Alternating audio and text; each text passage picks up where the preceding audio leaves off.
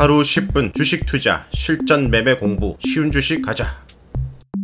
이제 미국 대선이 얼마 남지 않았습니다. 오늘이 10월 14일 월요일이죠. 그 다음 주에 한 주, 두 주, 그 다음 11월로 넘어가면 이게 3주차. 11월 5일 여기에 미국 대선이 있거든요. 이제 미국 대선까지 3주가 남았습니다. 진짜 얼마 안 남았죠. 이제 사전 투표까지 들어갑니다. 자, 이러는 와중에 해리스 트럼프 전국에서 지지율 동률 조사마다 조금씩 차이가 있지만 지지율이 지금 거의 비슷하다. 지난번 대선 토론 때 해리스가 판정승을 거두면서 해리스 지지율이 좀 더 높았지만 지금 시간이 가면 갈수록 다시 트럼프 지지율로 올라가면서 동률로 비슷해지고 있는 상황입니다. 자, 해리스가 처음에 지지율이 높아진 것은 기저 효과가 있거든요. 이 처음에 바이든에서 해리스로 후보 교체가 되면서 미국 민주당 결집이 이루어지면서 그 순간만큼 확 올라가는 그런 효과가 있습니다. 그 효과가 점점 꺼지고 있는 거죠, 지금. 그러면서 지금 비슷해지고 있다. 지금 한치 앞도 알 수가 없는 상황이다. 자, 지난번에도 한번 봤었죠. 자, S&P 500 주봉을 한번 보도록 할게요. 여기 세로 선이 그어져 있는 것이 과거 과거의 미국 대선 때입니다. 지금 최근에도 11월 5일 여기 체크가 되어 있고 이제 진짜 얼마 남지 않았죠? 하나, 둘, 셋, 3주 뒤면은 미국 대선 들어갑니다. 자, 전통적으로 확률적으로 보면은 미국 대선 있고 난 다음에는 상승으로 가는 경우가 많습니다. 바로 직전 2020년도에도 상승이 나왔고 16년도에도 상승이 나왔고 12년도에도 상승이 나왔고 2012년도에도 상승이 나왔고 2008년도에는 하락이 나왔죠. 그 다음에 상승해줬고 2004년도에도 상승, 2000년도에 20년도에는 하락이 나왔습니다. 지금까지 봤을 때 유일하게 계속해서 하락하는 것은 최근 들어서 2000년도가 유일하죠. 이때는 닷컴 버블이 터지면서 그죠. 96년도에도 상승, 더 과거로 가면은 92년도에도 상승, 과거로 88년도에도 상승, 대부분은 미국 대선 다음에 상승하는 모습을 보여줬어요. 미국 대선 해리스가 이길지 트럼프가 이길지 우리는 뭐 정확하게 미래는 알 수가 없죠. 여러 가지 자료들이 이제 맞춘 것들이 있죠.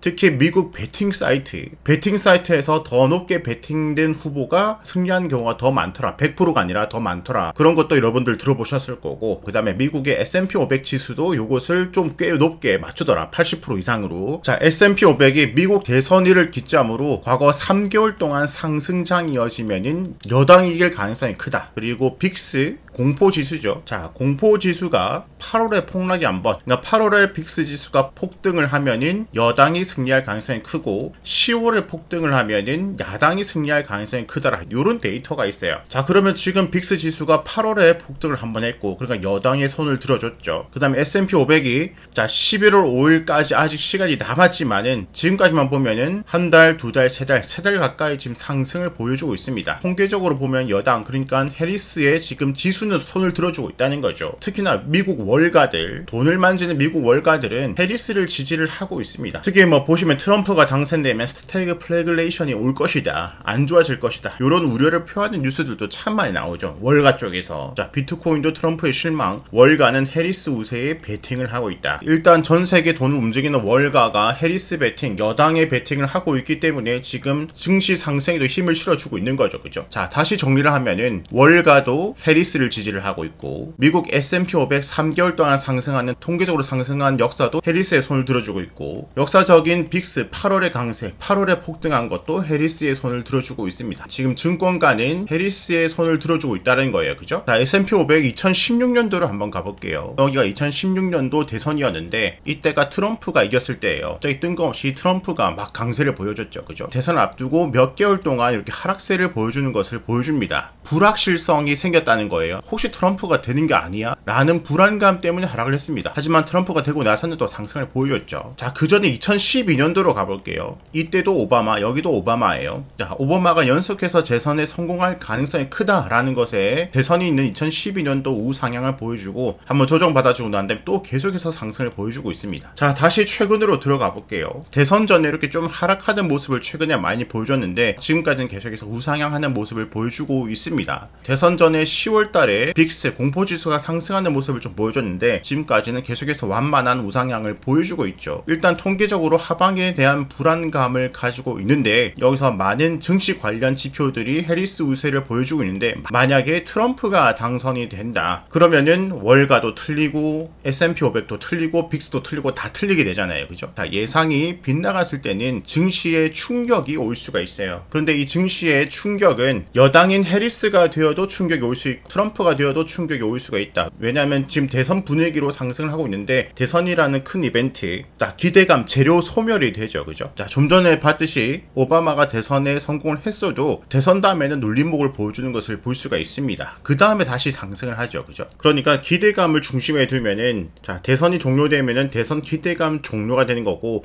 그 다음에 증시가 추가 상승하기 위해서는 그 다음 기대감이 필요한 거죠. 자 첫 번째 기대감 종료되면서 증시 눌림목을 한번 보여주고 난 다음에 해리스가 되든 트럼프가 되든 누가 되든 그 다음에 경기 부양책, 증시 부양책을 쏟아내면은 또 쏟아낼 것이라는 기대감이 생기면 다시 증시가 상승을 할 수가 있겠죠. 기대감을 중심에 둔다면요. 자 그러면 지금 기대감대로 해리스 쪽으로 된다. 그러면은 해리스가 당선되면은 기대감 소멸에 약간의 하락, 트럼프가 당선되면은 재료 소멸 플러스 어, 모든 예측이 틀렸다라는 실망감, 공포에 더 큰 하락이 올 수도 있. 이런 가능성을 우리는 생각을 하고 있어야 될 것 같아요. 자 하락이 올지 작게 올지 크게 올지는 우리는 알지 못해요. 그렇기 때문에 계속해서 눌림목마다 미국 증시 추종 뭐 QQQ, TQQQ, SPY, VOO 이런 것을 눌림목 크게 올 때마다 사모아 가더라도 일부의 현금은 계속해서 가지고 있는 것이 안전하지 않을까. 자 헬스가 당선 자, 해리스가 당선돼서 약간의 조정, 10% 정도의 조정은 언제든 올 수가 있거든요. 10% 정도면 대략적으로 이 정도. 그러니까 직전 저점 근방이죠, 그죠? 대략적으로 이 정도, 직전 저점 대 근방. 트럼프가 당선되면 두 배 정도의 충격, 20%에서 한 30% 사이. 대략적으로 20%가 이 정도고, 25%에서 30%가 여기 정도 되죠. 20% 정도가 이 정도, 30%가 이 정도. 그러니까 지금 크게 타고 올라가는 이 트렌드 라인의 하방이죠, 그죠? 계속해서 지지받고 있는 하방. 대략적으로 잡으면 요런 요런 밴드까지. 자 누가 되든 충격이 작게 오든 크게 오든 충격 다음에는 다시 2025년도에 각종 정책이 남발을 하고 다시 돈을 또 풀고 각종 부양책이 나오고 경제를 부양시키고 증시를 부양시켜야 인기가 있잖아요. 그죠? 그렇게 쏟아지면은 충격 다음에 다시 반등을 하기 때문에 작게 충격이 오든 크게 충격이 오든 충격이 올 때는 내년 상승장 전에 마지막으로 담을 수 있는 마지막으로 싸게 살 수 있는 마지막으로 크게 살 수 있는 기회가 올 수 있다 자, 지금 혹시 한두 달 내로 큰 폭락이 오면 어떡하지? 걱정을 할 필요가 없는 거죠. 생각의 전환인 거예요. 어, 좀 더 싸게 살 수 있는 기회가 왔으면 좋겠다. 이렇게 바꿔서 생각해 볼 수가 있는 거죠. 이렇게 내려갈 때 더 싸게 살 수 있는 기회를 잡으려면 결국에는 현금 보유가 있어야 되는 거고. 그런데 혹시 조금만 내려갈 수도 있고 아예 안 내려가고 계속 올라갈 수도 있는 거고. 그건 우리가 알지 못하잖아요. 그렇기 때문에 눌림목마다 계속해서 일부는 사모아 가는 거예요. 그죠? 자, 눌림목의 야금. 자, 여기도 눌림목 야금. 눌림목 야금. 눌림목 야금. 눌림목 야금.